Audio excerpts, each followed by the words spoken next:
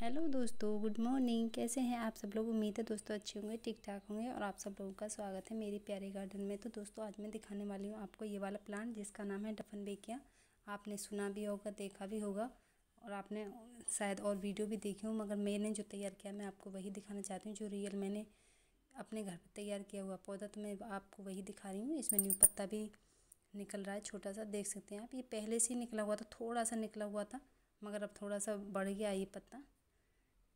करीब करीब पंद्रह बीस दिन की बात है ये। तब मैंने इसकी कटिंग करके इसको लगाया था।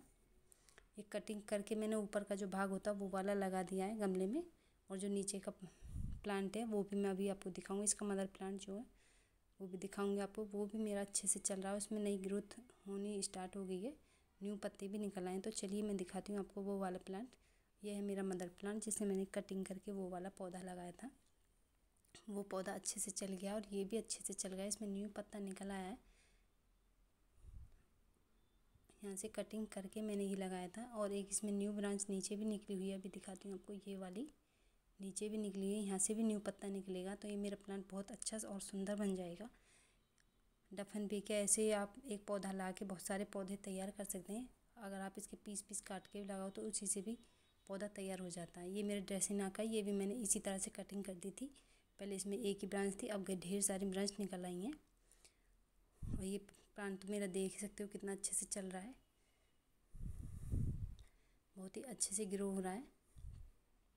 मैंने इन्हें इंडोर में रखा हुआ है, इन पर ज़्यादा धूप वगैरह नहीं आती है, सिर्फ़ ब्राइट लाइट पड़ती है। यहाँ पर मेरे अच्छे से चल जाते हैं ये वाले प्लांट ये मेरे कोलिस के प्लांट है जो मैंने इस दिन आपको दिखाए थे। तो ये साथ में रखे हुए तो मैं आपको दिखा देती हूँ कितने अच्छे से चल रहे हैं। इसमें फूल भी निकल आए हैं। क्योंकि मैंने कटिंग ये ऊपर से लगाई थी तो अच्छे से चल रहे हैं वाल प्लांट तो